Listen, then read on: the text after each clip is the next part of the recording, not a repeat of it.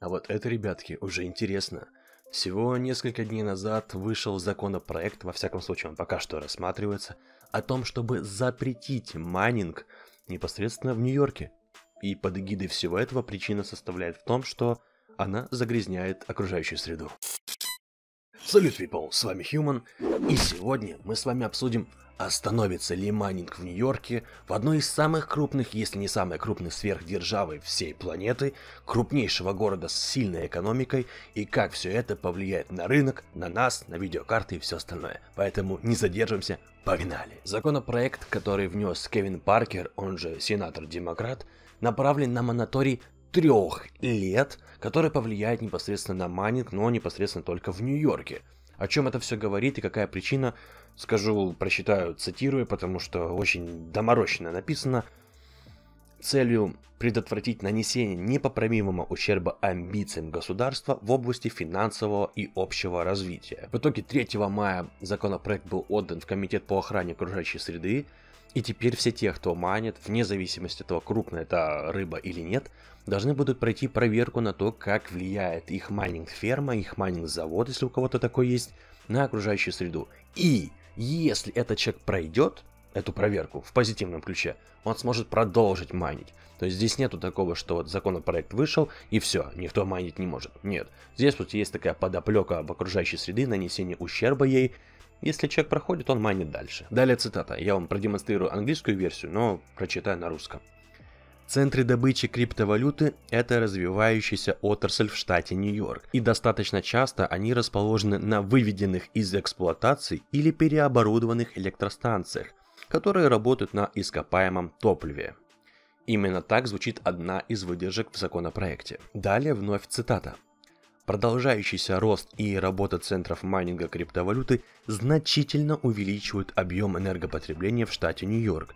Следовательно, есть предпосылки полагать, что связанные с этим выбросом парниковых газов несут непоправимый вред соблюдения закона о климатическом лидерстве и защите сообществ – Конец цитаты. Кому интересно подробнее, я подкрепляю ссылочку под этим видосом, где вы сможете самостоятельно ознакомиться с полным законопроектом, две страницы прекраснейшего чтива на английском языке. Но теперь, чтобы не погружаться в эмоции, думать о том, плохо все это или хорошо, рассудим хладно и с трезвым умом. Пройдемся по определенным числам, даже по определенным странам. Это важно по той простой причине, потому что есть ограниченные ресурсы на планете Земля, а есть неограниченные. И, в общем, не буду томить, поймете, почему это нам нужно знать. Но для того, чтобы ответить на данный поставленный вопрос, нам нужно понимать, как происходит вообще майнинг. Следовательно, это процесс решения сложных математических задач. Окей. Кто решает эту задачу, тот получает право обрабатывать блок транзакций за определенную комиссию, за эту же транзакцию и новую криптовалюту. Упрощая, вы получаете доход в виде криптовалюты, а не в формате фиатных денег. Окей? Двигаемся далее. Но на самом деле по итогу потребление энергии майнерами достаточно высокое. И в этом есть подтверждение в кембриджском исследовании, где указано, что сама структура биткоина и всей этой криптовалюты потребляет электроэнергии больше, чем страна Швеция. Нужные пруфы приведу, но наперед забегу скажу, что Швеция за год потребляет 131 тераватт, а майнинг 149. В дальнейшем я приведу вам еще любопытные примеры, некоторые из них покажутся вам даже забавными, но это нужно знать. А пока что еще одна важная цитата. Для одной транзакции с криптовалютой используется то же количество энергии, которое среднее американское домохозяйство расходует в течение одного месяца. Что это значит? Ну, мы сопоставляем одну транзакцию за месяц бытового потребления.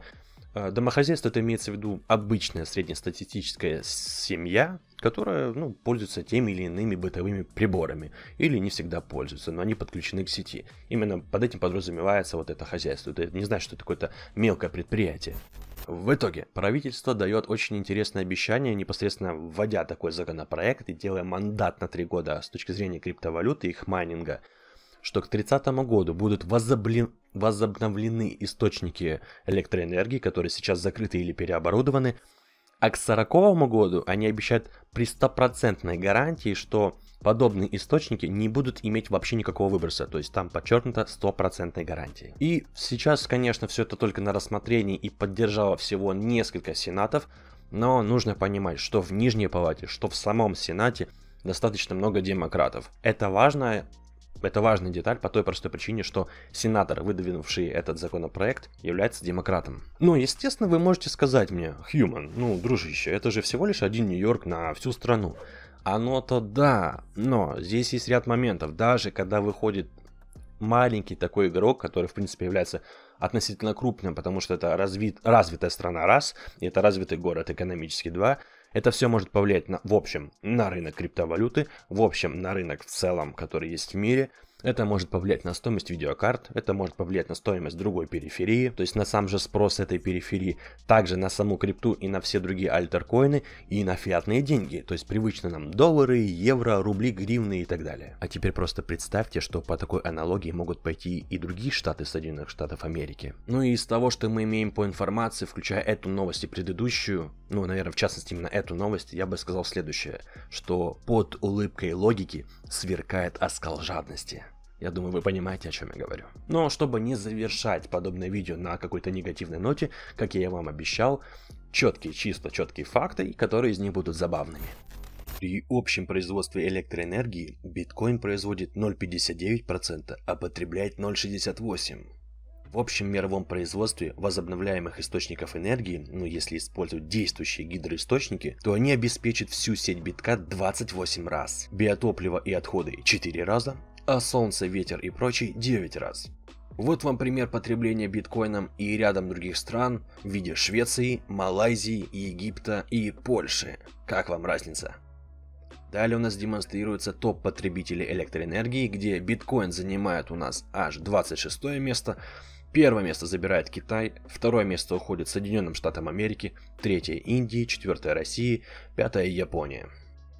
Что касается забавных фактов, то если мы возьмем в пример бытовые приборы, которые 24 на 7 подключены к сети, но не используются все это время, а лишь только период, то стиральные машины, микроволновки, холодильник, ПК, смартфоны и так далее смогли бы обеспечить жизнеспособность сети битка на протяжении полутора лет. Это имеется в виду статистика по Соединенным Штатам Америки а учитывая потребление электроэнергии самой сетью биткоина, то она бы могла кипятить воду всех действующих чайников в Великобритании на протяжении 30 лет, а в Европе, включая ту же Британию, на протяжении 5 лет. Ну и сеть биткоина может запросто обеспечивать электроэнергией Кембриджский университет на протяжении 846 лет.